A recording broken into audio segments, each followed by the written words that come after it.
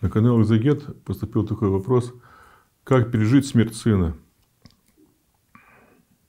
Вопрос очень непростой. Знаете, э, э, как сказал преподобный Серафим Саровский, давай советы, это как камушки с колокольни бросать.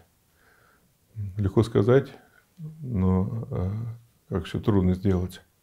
Но если войти в такую скорбь. А сейчас я думаю, что а, ну, всегда так было. Всегда так было, не только сейчас. К сожалению, матери и отцы хоронят своих сыновей. Это бывает в период военных действий, это бывает несчастные случаи, разные ситуации – и, конечно, никто к этому не может быть готовым. Даже если сын тяжело болеет, даже э, если, казалось бы, и э, смерть близка, и все равно, когда она наступает, э, она не может восприниматься никак по-человечески. Потому что смерть вообще противоестественна. Она и вошла в мир вместе с грехом. Ведь человек создан бессмертным – и поэтому, конечно, хотя о смерти и помнит, но все же не может постоянно жить этой памятью, ну, кроме особо духовных людей. Вот когда случается такая скорбь, э, как э, все это можно пережить? Ну, во-первых, надо понимать, э, что нет ничего, что могло бы как-то порадовать или утешить в такой скорби и, и быть такого не может. Потому что когда умирает близкий человек, это не время утешений все же. Не время, в том числе, безусловной радости. Никакой радости быть не может. Это время скорби. Поэтому возникает вопрос, как эту скорбь понести? Как понести тяжесть этой скорби? Как э, получить те силы, которые помогли бы эту тяжесть поднять? Как э, понести крест свой. Ну, э, во-первых, надо сказать, э, чтобы понести такую тяжелую скорбь, надо постараться относиться к происшедшему как много духовней, как можно духовней.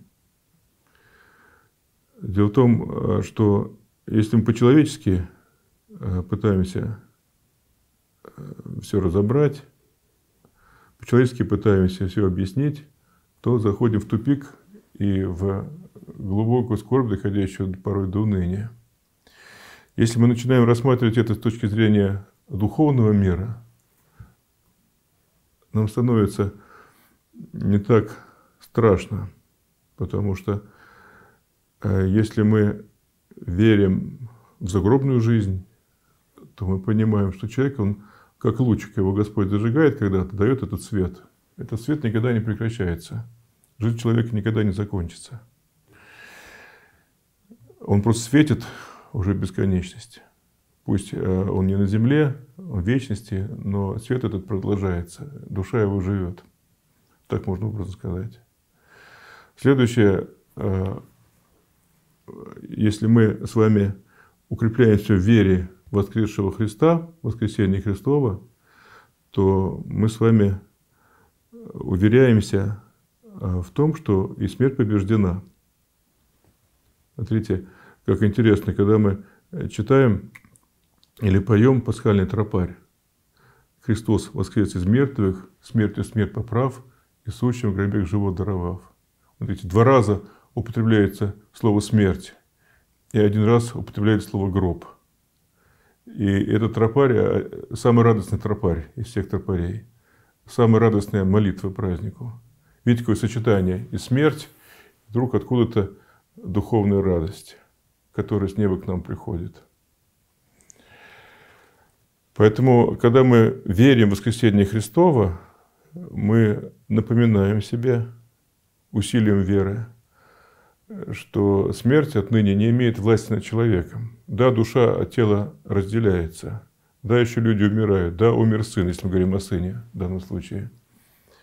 Но э, видите, если впереди воскресение, а если со Христом, то и воскреснем с Ним. Ведь Христос воскрес, дает нам эту воскрешающую силу.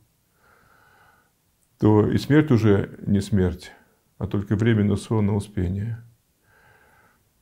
Кто-то из святых отцов говорил, что смерть подобна э, змеи, которая уязвлена в главу. Вот она еще шевелится, она еще извивается, а уже скоро умрет. Уже нет, нет жизни, потому что э, голова ее сокрушена. Так и смерть. Она вроде еще остается, она еще забирает людей, казалось бы, но она временна, потому что впереди воскресение из мертвых. Утешит ли это?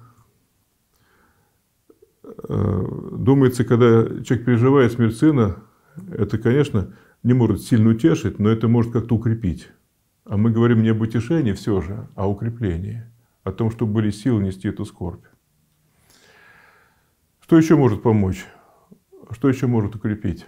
Укрепит нас пребывание со Христом.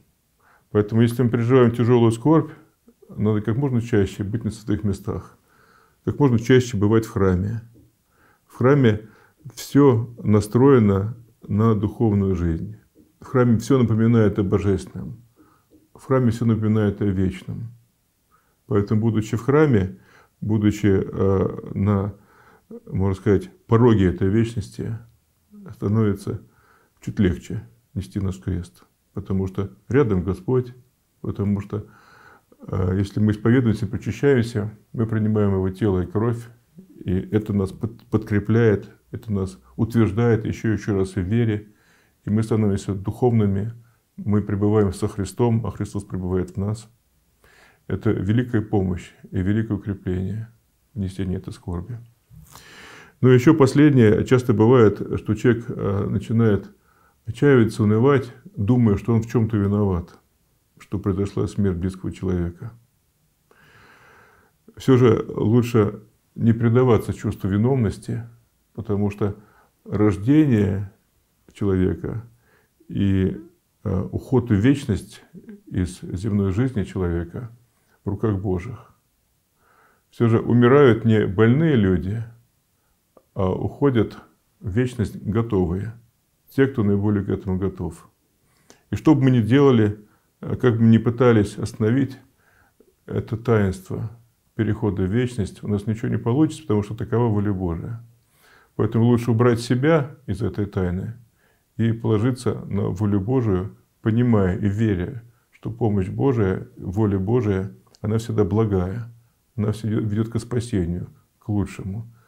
Она не так, как мы хотим, но она так, как нужно, так, как спасительна, так, как э, повелит Господь.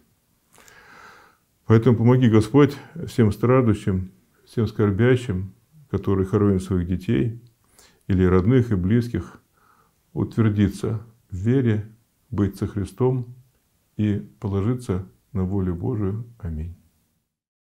Внеси свой вклад, оцени, подпишись и поделись этим видео.